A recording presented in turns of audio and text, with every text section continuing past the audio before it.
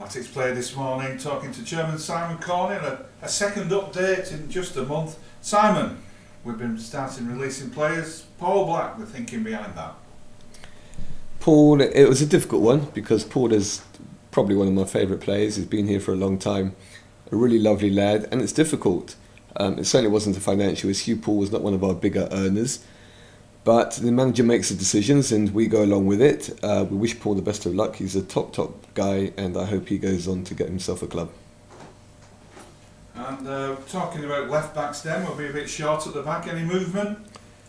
Not at the moment. Um, we've looked at one or two. The only one I can tell you that won't be coming here next year is Ben Parker. For those that don't know, Ben Parker was, was the one that could have come here.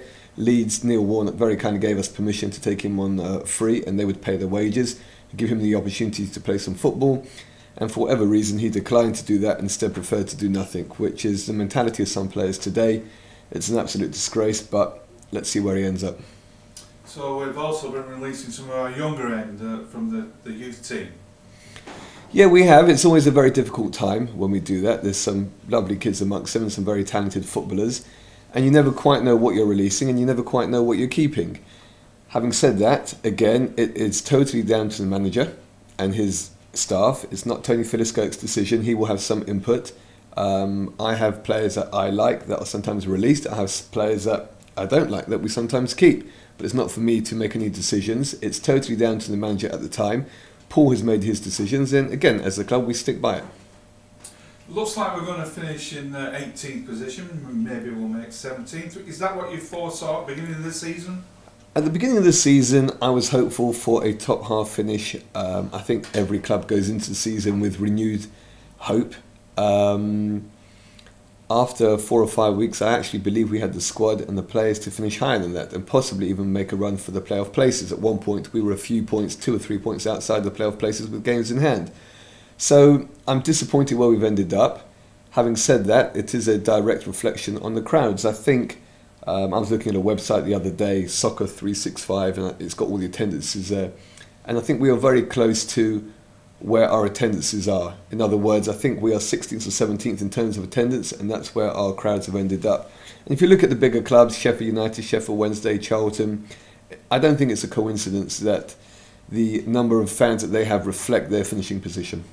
If anybody has any concerns about uh, the happenings at Boundary Park, are you still open to them coming down to speak to you? Absolutely, Gordon. Um, I've always said that. I have no problem with people coming down the whole time. We've ha- I've had a few in the last couple of weeks, and they tell me how it is, and I want fans to tell me how it is. I don't want fans to come here and tell us we're doing this right, and you're a good chairman, or, or it's a fantastic club. I want people to come down and tell me the truth, tell me what their issues are, and the door is open any time. I think most people that have known the club for a, or been around the club for a long time recognise the fact we, we do have an open door policy. They can walk in. If I'm around, that's fine. If they want to make an appointment, they can call you up, Gordon. They can send you an email, and we'll arrange it. Not a, not a problem at all. Season's not quite over yet. Carlisle United coming to Boundary Park on Saturday. Expecting a big crowd. Yes, um, I don't think it will be as big as Carlisle um, originally anticipated. They told us a couple of weeks ago that it would be around 4,000 fans. Um, I think we'll be nearer to the 2,000 mark, which is still great for us. It's a, a, nice payday, which we need. I think had they have been in pole position, had they been on 70 points as opposed to 69, um, then I think we would have had the full 4,000. But they are third favourites to go through after Stevenage and Notts County. So it'll be a big crowd, it'll be helpful, and it'll be a good atmosphere. I hope we can bring a few as well, and I'm looking forward to it. The season ticket deadline draws ever closer. Yeah, it does. It's uh, it's not long to go now. I think we've got eight, ten days left. Um, it has slowed down a little bit, which I'm slightly concerned about. We are behind last year's schedule. Not sure the reasons behind it. I hope the fans do come out and um, buy their tickets. But if they don't, they don't. We we march on, we keep going. But it is important to us that season ticket holders from this year renew. They are the lifeblood of the club, as I always say. Um, we've had plenty of interest in the ten pound tickets. Um, I think that's a good thing. I'm not entirely sure, but uh, we'll see what happens over the course of the next week, ten days. Simon, can we talk about the way forward next year? I believe that there might be some changes in the way we're paying our players. Not necessarily, Gordon. Um, I did say to Paul last week in one of our many chats that I still find it very difficult after all these years to understand why players get paid the amount of money they do get paid, whatever their performance is. So if we lose 1 0 at home, they get the same money as if we win 5 0 away. Okay, they get a little bit more of a win bonus, and um, but everything else is the same the appearance money, the wages. And I don't think that's fair in any other job. You do a good job, you get paid more money. You do a bad job, well, either you get fired or you don't get paid. And our fans pay a lot of good money to come through the door and watch it and to be entertained. And many times they're not. I, in the ideal world, I would love to go to a scenario where players are getting seven, six, seven hundred pounds a week, and they can get another six, seven hundred pounds if they win. But if they don't win, they get their seven hundred pounds and they go home and struggle like everybody else. And I think it would make a big difference to them. I'm not saying it is something I can implement. I'm just saying that that's something that I would love to be able to go to because there are too many times when players, not just at this club but in general, don't go out and give hundred percent. I've always said that I can take losing a game. It's not a problem for me at all. It happens. That's football. If you didn't lose, it wouldn't be fun. It's the effort on the pitch, though.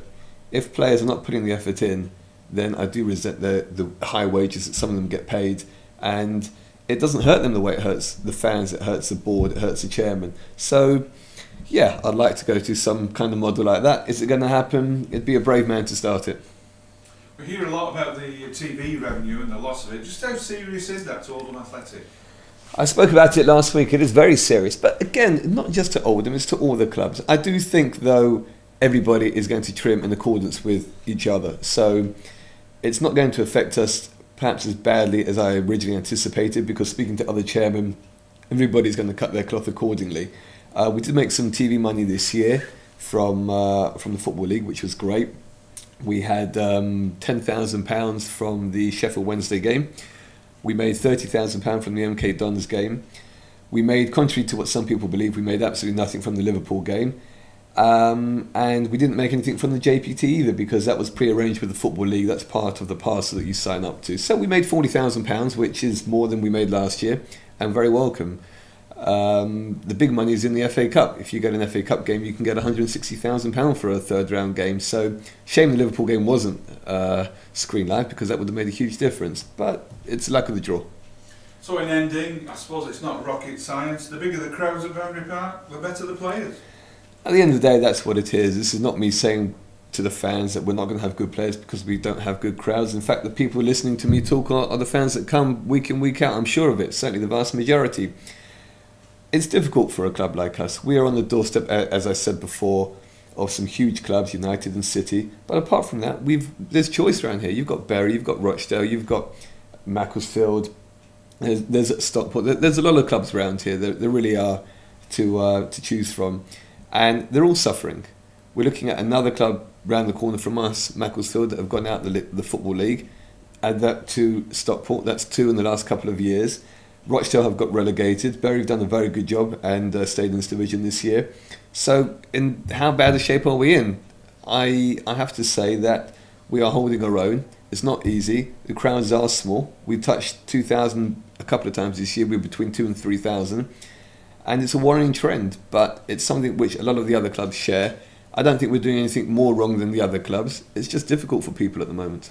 So, in closing, then, uh, with this interview. We're asking fans really to stick with us. We're trying to get our house in order and season tickets if they could help us out with them. Absolutely. At the end of the day, you're as good as your fan base. That's the bottom line. And there's nothing else that really matters as much as the fans coming in. Thank you very much, Simon. Thanks, Gordon.